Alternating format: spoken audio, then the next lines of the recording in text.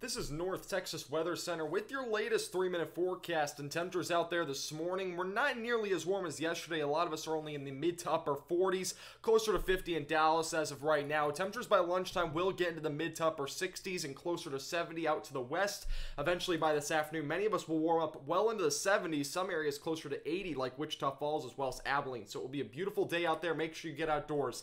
Now, on the negative side of that, we will see a potential for some severe storms tomorrow. This does include the DFW Metroplex, at least a marginal risk of severe weather is in effect currently for DFW, and as well as out in eastern Texas, there's a slight risk, and that does include Tyler as well as Shreveport, and that will be for the potential for some large hail and maybe some damaging wind gusts out of a few thunderstorms tomorrow evening and over into the overnight hours. Let's take a look at the future radar. So Thursday, we're going to stay dry through most of the day. Eventually, by about 5 to 6 o'clock, a couple of isolated showers, maybe a storm could mix in there, especially back out to the northwest. However, a strong cap will be in place, so not there won't be any significant weather most likely until at least 7 to 8 o'clock in the evening.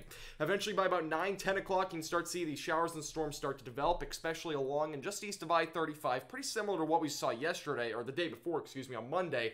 However, it's not going to bring the same threats. We're really only just looking at maybe some large hail. It should be remain pretty isolated. It's also going to be a more isolated event overall, so we're not going to see this being a widespread event like what we saw the other day.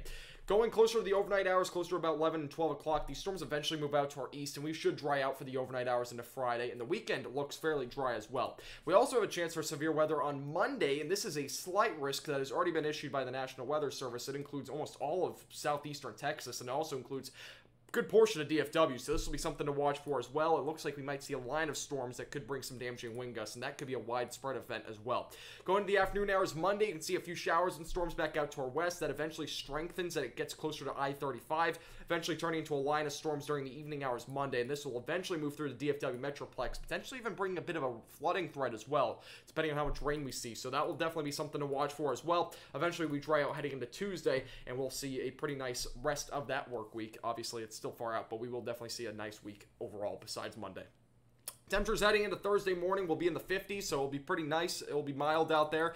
Maybe just a fleece jacket for the morning, but the afternoon looks fantastic. You can see going 4 o'clock tomorrow afternoon, we'll all be in the 70s. Back out to the west, some areas in the low to mid 80s, so it should be a fantastic day ahead.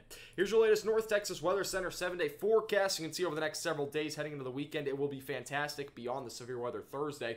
Heading into the Early next week, again, we might see some showers and storms. Temperatures, though, remain fairly nice spring-like in the upper 60s and lower 70s. This forecast is brought to you by Platinum Contracting, Birdie's Pro Turf, and THD Vehicle Doorstep.